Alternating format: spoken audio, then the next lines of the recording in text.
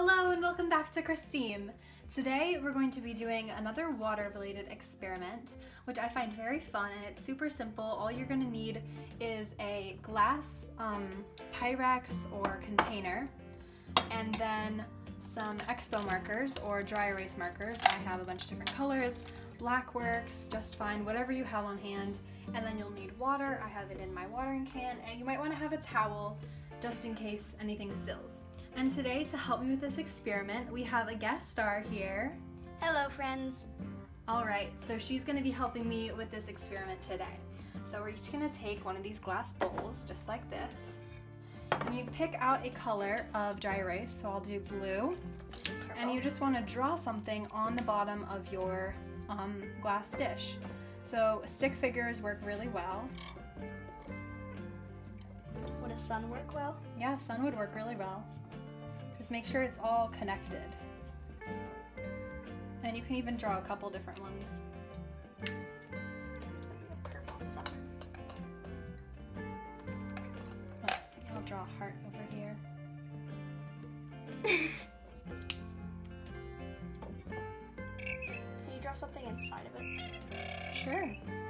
I would recommend keeping everything um, connected, but it'll still work. Oh, that's a very inky sun. Yep. Sorry, my markers are so squeaky.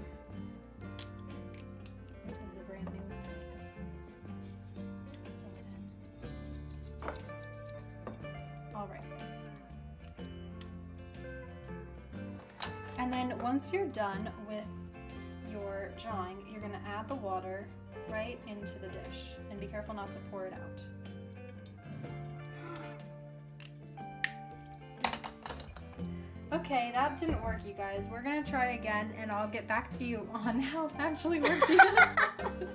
Sorry, that didn't work very well. Wait, can I try it? yeah. Okay, let's have our um our little helper try this out. All right, I'm gonna try pouring it onto the side of the um. Here, we'll pick it up maybe, and just get it right into the side of the dish. Oh no!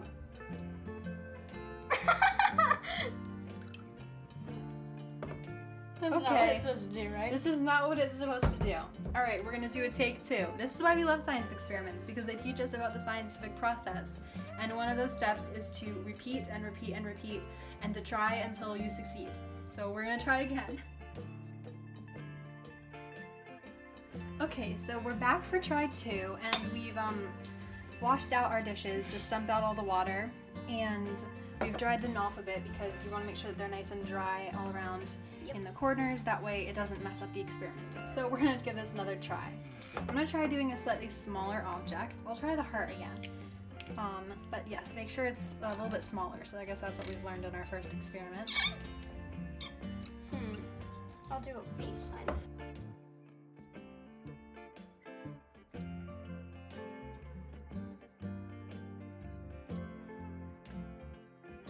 once you have your shape, and we've learned to keep them all connected because otherwise, if you have um, spaces in your shape, it might not work all that well.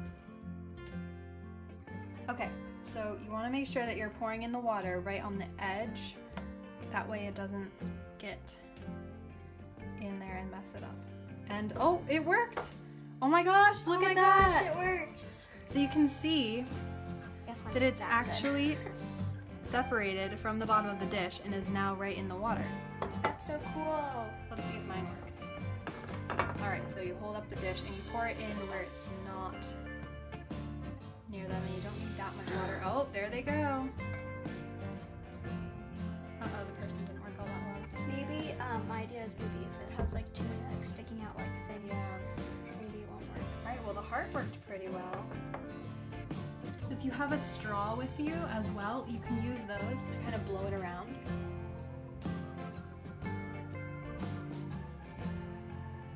And you can actually see if you um, move it around. You can even move around with the bottom of the straw.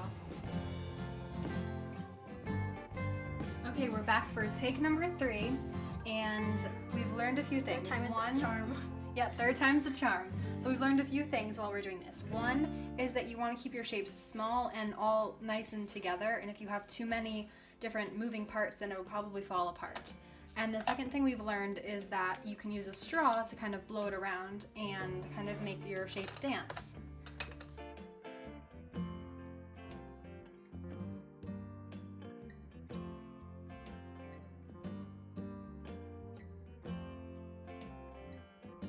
Gonna see what happens if I just do a normal circle. Yeah, I'll try that too. All right, and I'm gonna add the water. And we've learned that you have to add the water over to the side and then just let it lift up your shape.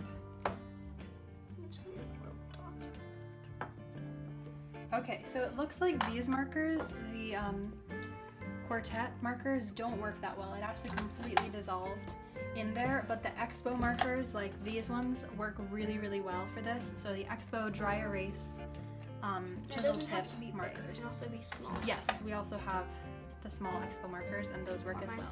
Yep. So we want to pour it off to the side and let it lift up your shape.